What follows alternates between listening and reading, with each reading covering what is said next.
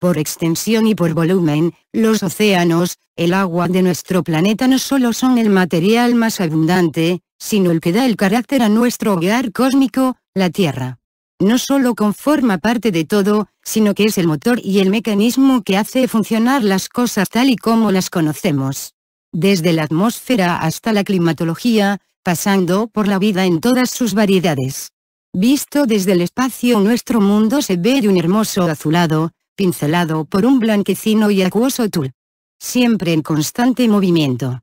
Pero las cosas tienen su sentido. Es esta condensación nebulosa la que mantiene el termostato de Gaia. Estando encargada de actuar a modo de pantalla de protección frente a las radiaciones exteriores provenientes del cosmos. Y de hacer que funcionen los ciclos de vida aquí abajo. Pero los océanos si vistos en conjunto han sido importantes en nuestras vidas y sus orígenes, por separado son pilar para su desarrollo y evolución.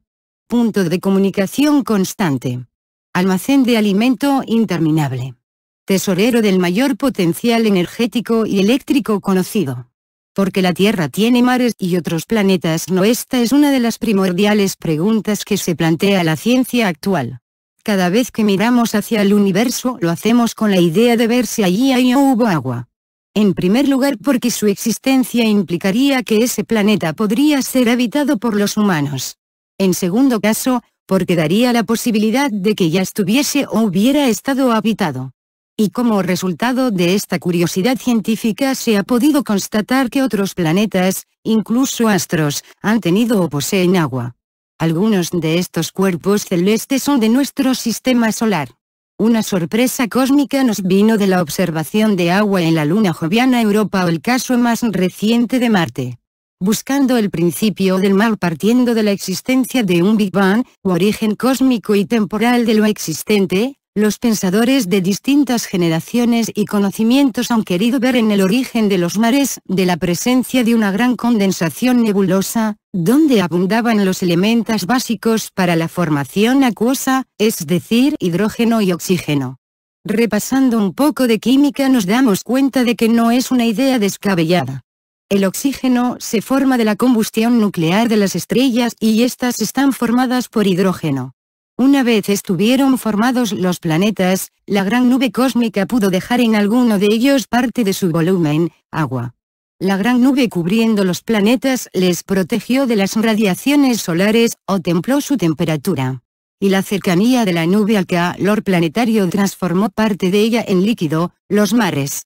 Pero además de este supuesto origen, las otras características de los cuerpos celestes influyeron a la hora de quedarse con agua y en la forma de hacerlo, factores entre los que se encontraban la cercanía a las estrellas, como el Sol. La baja gravedad de algunos planetas, la estabilidad de los enlaces químicos contenidos en su atmósfera y otras circunstancias terminaron por ser factores secundarios para otro origen. El de la vida. Ya que como en nuestro caso, el hidrógeno de esa nube primigenia, terminó por subir de nuevo hacia el espacio, enriqueciéndose la atmósfera con oxígeno. Sin embargo, no es la única hipótesis para explicar la existencia de océanos en la corteza terrestre. Una teoría nació con una nueva observación del espacio. Hace unos años el cometa Solmacher-Levy 9 colisionaba con la superficie de Júpiter.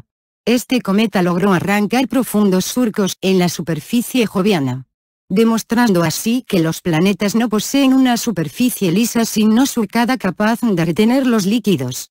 Un proceso que ha existido siempre en nuestro universo. ¿Y si además estos cometas dibujantes de canales portaran agua? ¿Qué ocurrirá si colisionaran y en el impacto soltaran H2O? Sin duda, una gran inundación sacudiría al planeta, víctima que se cubriría de un mar y por la fuerza de la colisión iniciaría un ciclo de mareas y oleajes. Una teoría lógica pero que no cuenta con la evaporación posterior de las aguas por las radiaciones solares. A este punto otro grupo de ciencia quiso darle una alternativa. Para ello aplicaron la teoría de que luego posteriores colisiones de cometas más diminutos mantendrían el flujo de partículas acuosas océanos, la vida más grande y evolucionante no solo la vida contenida en sus mantos de agua está en constante evolución. La propia forma de los océanos y sus componentes han ido mutando a lo largo de los milenios. Hoy sigue haciéndolo. Se imaginó una Pangea continente único para dibujar nuestro mundo hace miles de millones de años y circundándolo un inmenso océano llamado Pantalasai.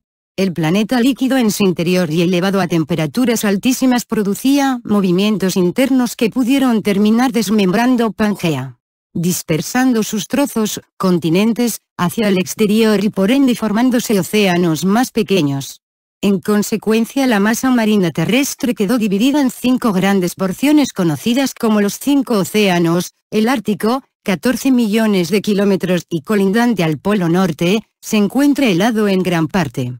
Es en el donde se desarrolla la vida en su nivel más básico, algas y líquenes. Donde se adaptaron los grandes mamíferos enlazados al agua, oso polar, pingüinos, focas, leones marinos, morsas, etc. Este océano es el más desconocido porque con la tecnología náutica actual se hace imposible explorarlo, ni siquiera con los más modernos rompehielos se tiene asegurada una buena travesía. Adentrarse entre sus heladas aguas es como viajar a otro planeta helado donde las noches duran meses y el frío se perpetúa en los menos 18 grados centígrados. En sus glaciales superficies y por debajo de ellas quizás se encuentren congeladas las huellas del pasado de nuestra Agea. El Pacífico, 181 millones de kilómetros cuadrados le convierten en el más grande depósito de agua de nuestro planeta. Las fosas marinas más profundas se hallan en él. Es ahí donde la ciencia cada día descubre nuevos y extraños seres vivos de los cuales no se conocía su existencia real. El celacanto un verdadero fósil viviente del que pudieron partir los primeros cambios hacia nuestra evolución mamífera fue capturado en Indonesia, dando por sentado que no estaban desaparecidos sino protegidos en las grandes fosas abisales. Salteado de infinidad de islas volcánicas y exóticas en ellas cientos de relatos de antiguas civilizaciones que dormitan en las profundidades de este Pacífico templado. El Antártico, 35 millones de kilómetros cuadrados, cercano al Polo Sur. Plagiado de peligros como los icebergs, continuos desgarros de sus grandes masas heladas hacen casi imposible la vida en él. Ronda casi los menos 30 grados centígrados. El Atlántico, 82 millones de kilómetros cuadrados de agua salada atravesado por una cordillera submarina, dorsal centro atlántico, que puede verse como islote en Islandia. Del Atlántico y su misterio se han hablado sin cese desde hace milenios. Platón ubicó allí el continente de la Atlántida sumergido tras un seísmo. Al igual que el Pacífico, su carácter templado facilita la vida. De sus aguas surgen enigmas de seres gigantescos como el reciente caso de los calamares gigantes canarios. El Índico, 73 millones de kilómetros cuadrados de mar. Poseedor de una gran fosa abisal, la de Java.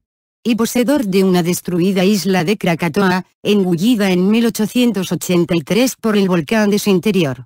Peligros oceánicos al ser generador constante de clima y estar a disposición de las presiones de las aguas que lo forman, al sufrir los cambios y mutaciones del planeta y su núcleo desde una proximidad inquietante terminan por ser los productores de grandes peligros y sus transmisores más temibles.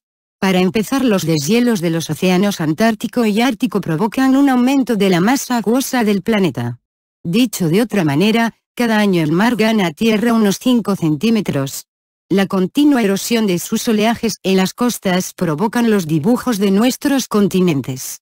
A veces se trata de un proceso lento, millones de años moldeando las zonas litorales pero igualmente peligrosas, pues en la historia se han dado casos de aldeas de pescadores que han terminado por ser engullidas totalmente por el mar. De todas formas estos serían los peligros menos importantes que nos depararían los océanos, los hay más voraces, rápidos y violentos. Icebergs, productos de rupturas de las masas glaciales de los océanos Ártico y Antártico. Kilométricas islas flotantes de macizo hielo que pueden tardar años en deshacerse, siglos. A su paso, esas demoledoras moles marinas son un peligro de puntiagudas formas para la navegación, uno de ellos hundió al Titanic. Y se les puede ver incluso deslizándose por el Atlántico Norte. Maremotos, producidos por las tensiones de las placas de la corteza terrestre que terminan afectando la presión del agua que sostienen. Poco más se sabe de ellos. Tsunamis u olas gigantescas, en el mar apenas son perceptibles. En zonas de costa pueden ser devastadoras devorando ciudades enteras a su paso. Java y Sumatra fueron testigos de estas enormes olas cuando en 1883 más de 36.000 ciudadanos de sus litorales perdieron la vida. 60.000 almas portuguesas corrieron idéntica suerte en 1775, bajo olas de más de 17 metros de altura y unas velocidades de casi 100 kilómetros por hora. Huracanes, resultado de tormentas cuyos vientos alcanzan más de 118-130 kilómetros por hora, produciendo oleaje y espuma marina de considerables proporciones. Suelen formarse en zonas cálidas, Aún estamos intentando olvidar los daños del huracán Mick. Remolinos, muchos marinos afirman haber sido testigos de estos. Se tratan de enormes espirales de agua que giran en forma centrífuga a grandes velocidades y que engullen todo a su paso, llevándolo hasta los fosos marinos. Se forman con distinto diámetro. Son muy raros de ver en la actualidad. En historia, sin embargo, se narran sucesos de barcos de pesca que fueron devorados por brazos de mar. El agua preocupa a la ciencia. Nuestra ciencia actual sabe que desvelar los secretos del mar es poseer los conocimientos de la vida y la subsistencia en este planeta. Poder prever las catástrofes, aprender a aprovechar la energía de los océanos son algunos de los retos vigentes en nuestra sociedad. Investigarlos nos reporta información sobre nuestro pasado y posible futuro. Hoy, se puede hacer algo tan increíble como escanear y rastrear con exactitud las geografías marinas. Un satélite militar, el Geosat y las ayudas de otro Europeers 1 se dedican a tal empeño. Fallas, cordilleras, fosas, conexiones continentales desconocidas van saliendo a la luz. Los mismos satélites intentan predecir la climatología terrestre. Incluso, los oleajes son minuciosamente seguidos con los rastreadores GPS insertados a los satélites vigentes en la actualidad y controlados desde la Universidad de Tokio. La parte médica está interesada en descubrir las influencias de la luna y las mareas en el comportamiento de los animales. La genética retrocede a los orígenes marinos para encontrar el momento cero. Una ciencia empeñada en hallar respuesta puede encontrarlas. Mientras esto sucede las aguas siguen ganando tierra. La vida evolucionando libremente lejana a los ojos de los caminantes de la corteza terrestre, que bastante tienen con preocuparse al ver cómo esa maravilla acuosa que le rodea se vuelve impetuosa e impredecible. Haciendo nacer una última ciencia, la literaria y artística.